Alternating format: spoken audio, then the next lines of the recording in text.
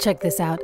On September 17, 1787, a group of men in Philadelphia signed a document that set the course for American politics and still impacts daily life in the U.S. more than 230 years later the U.S. Constitution. The first of its kind and the longest lasting Constitution in the world. Even today, your health, your safety, even your perception of time they're all impacted by this centuries old document. It's perhaps the main reason the US remains stuck on so many important issues. And while the longevity and near holy reputation of the US Constitution leads many to believe it either can't be changed or shouldn't be changed, it can be. So, buckle your shoes and powder your wigs as we examine how the Constitution blocks the US from becoming a thriving multiracial democracy and explore what it will take to change it. The US constitutional system establishes a fundamentally undemocratic order.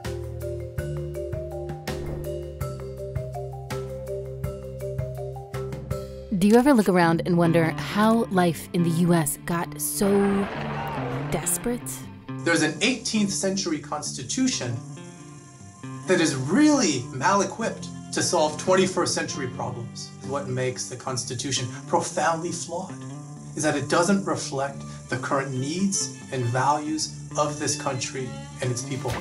That's great, you say, but if the Constitution is so broken, show me a concrete example.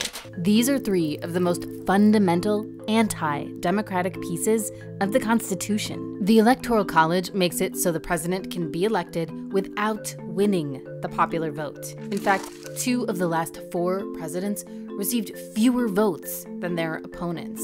And the Senate? Well, the Senate's whole existence is based on circumventing democracy. It gives equal representation to each state regardless of population. Back in Philly, this idea passed by only a one vote margin. So you could say the Senate was controversial even back then, and maybe not well thought out. See, the men in that room back in Philly could never have dreamed of the vast population differences that states would have in the 21st century. Today, two senators from states like Wyoming or South Dakota have the same power as the two senators from California. And a senator chosen by a few hundred thousand voters can block the agenda of a president chosen by tens of millions. See where we're going with this? Supreme Court justices are nominated by the president, confirmed by the Senate, and then serve for life meaning the US can have a president who didn't win a Democratic majority, nominating the most powerful judges in the country, who are then confirmed by senators whose power is constitutionally designed to undermine majority power. And it's these same judges who ultimately interpret the Constitution. You can do a lot of violence with the text of the Constitution, given its history, given its modern evolution, and given the limited rights that people now enjoy under the Constitution because of its narrow interpretation by the Supreme Court. So, to recap, the men in that room back in Philly laid a path for a minority political party to sack the most powerful court in the country and wield generation changing power. And they can do all of this without having to win a national popular vote or even respond to the actual demands of American voters. All of this facilitates minority rule. As bad as this sounds, the Constitution is doing exactly what it was designed to do. Because at its core, the Constitution is all about power, dictating who gets to wield it and how. See, those men in Philly were wealthy, white, and deeply suspicious of the power everyday people might wield in elections. After all, workers and laborers vastly outnumbered them. So they wrote the Constitution in a way that consolidated power for men like them and away from true popular democratic rule. Here's a great example. He's rich and white and lost the popular vote by millions. Yet he was able to stack the court with conservative justices, thanks to a Republican controlled Senate that represented a minority of voters. The minoritarian dimensions of the constitutional system incentivizes one of the two major parties, the Republican Party, to see its strength as tied to these counter-majoritarian instruments, and to then view the actual emergence of a multiracial democracy in the US as an almost existential threat which is why Republicans continue blocking legislation aimed at increasing access to the ballot, and why the US faces one democratic crisis after another. For example, if abortion access were put to a popular vote in the US, it would win by a landslide. Same goes for background checks on guns, voting rights, environmental protections, yeeting our current healthcare system into the sun, and a host of other modern issues. Yet these things remain stalled and Americans' lives remain desperate. And it all goes back to what? The Constitution rooted in slavery, rooted in exclusion, excluding women, excluding anyone who did not own property, excluding anyone who was not a man. This is real. Rarely, if ever, have women or people of color had any meaningful say in how the Constitution is written or fixed. It's a document that, at its core, is written by white men who wanted to build themselves a country on land violently taken from Native people. The US Constitution is not just pro slavery, it also was built through a project of settler colonialism.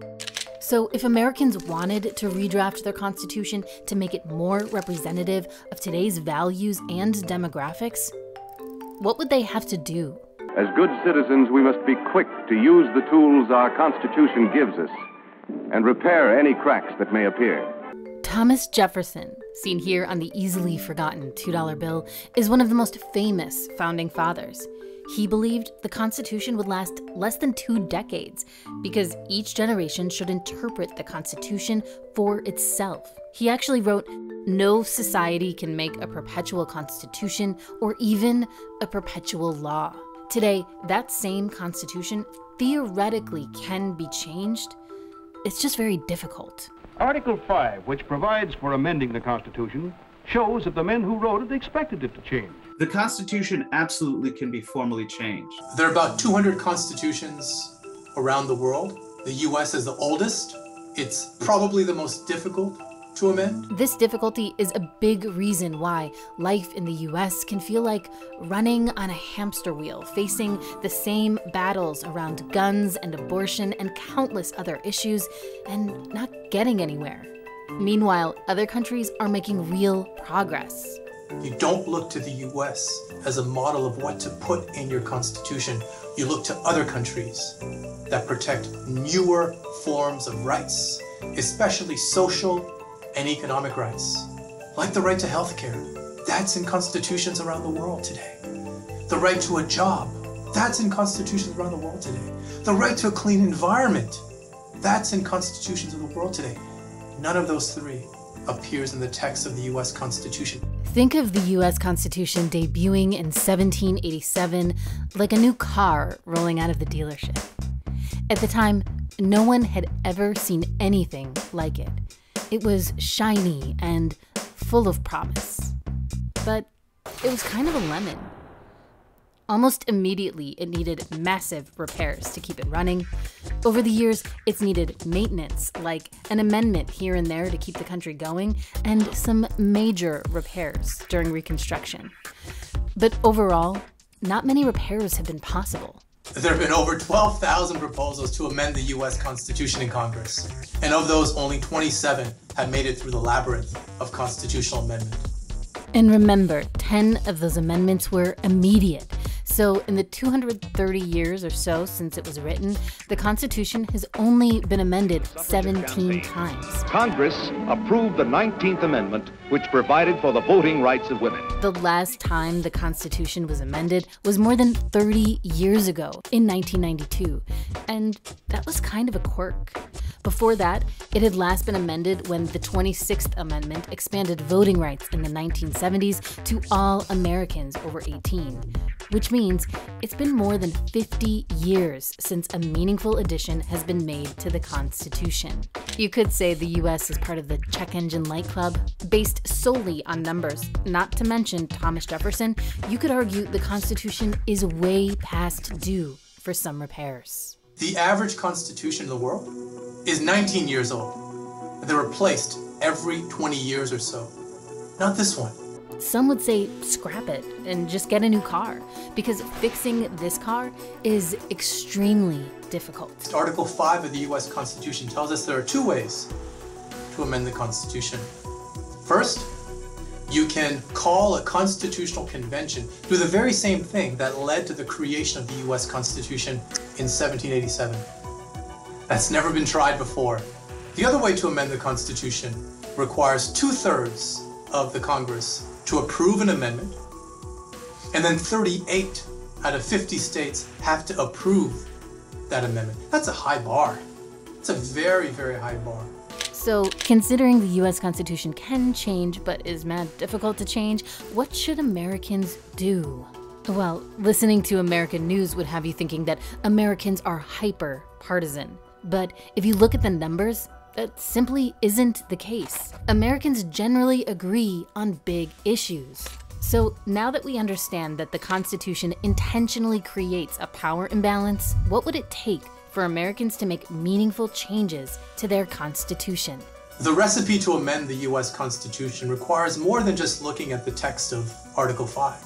You need a social movement that builds up from below, or you need a charismatic leader that leads from above.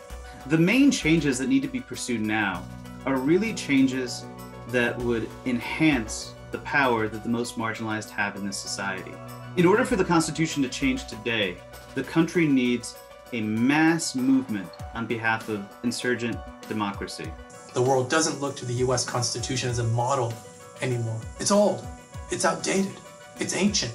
It actually holds back the possibilities for humanity to have a constitution that looks like the US Constitution's limited protections for rights and freedoms.